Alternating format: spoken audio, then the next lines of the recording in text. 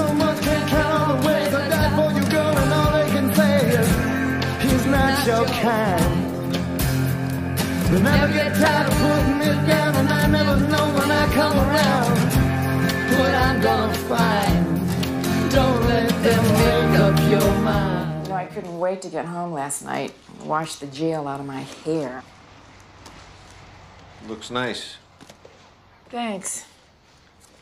Oh, I got a few, but I can't afford to start all over again. I mean, I've invested too much time and money in my albums. Yeah, but you... I don't get new stuff that often.